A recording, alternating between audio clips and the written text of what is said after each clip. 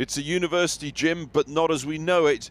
Dystopian, deserted. It's Warwick, but it could be any UK campus this week. My name's Zach Nathan, and I'm a first year undergraduate student at the University of Warwick. My name's Joe Earnshaw. I'm an undergraduate student at the University of Warwick. Joe and Zach out leafleting, part of the student rent strike at Warwick. And why? Because many students across the country are being told not to come back because of lockdown and courses going online, but still pay for flats they're shut out from. You've got students paying extortionate prices for the teaching they're getting. They don't even get to go to a classroom. I mean, at the moment, we've all come back on the notion that we would have lectures and seminars in person, but I just have to sit in my room all day at the moment and isolate.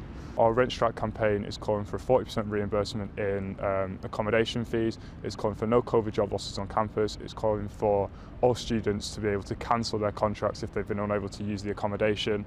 Um, and it's calling for no repercussions for striking students. Across the Midlands at Nottingham Trent, Erin Carr told this week she can't come back to study but must pay her full rent. I'm paying £165 a week for accommodation, but I've been told that I'm not allowed to come back, and I've not been at university since the 4th of December.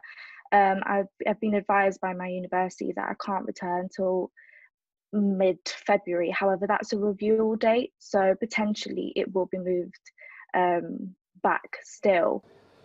Nottingham Trent told students there'll be no rent rebates for this or last term, but they are seeking guidance from the government. Over in Manchester, they're not having it. Students occupied an empty building last term. The rent strike here has been one of the most effective in UK student history. We decided the only way to get their attention and get them to come around to negotiate with us was to occupy the university tower. Um, so we did that for two weeks, and after a two-week occupation, uh, they finally gave in. They've given a 30% rent cut for students in halls. But 30%? Yeah, so that works out up to £1,000 for every student in university halls. And late yesterday, the university moved again, waiving completely on campus rents during the lockdown. Back to Warwick, and news for the student strikers in the past 24 hours. The university now says it's also waiving rents for on campus students staying at home until at least mid February. It shows that our kind of rent strike can be effective and the movement we've got going can have some leeway, but it's obviously not what we want. Um, I think it's really important to remember the rent strike isn't just about rent, um, it's about having a dramatically worse experience at university. Because of that wider issue, the Warwick rent strike goes on, and they're not the only campus.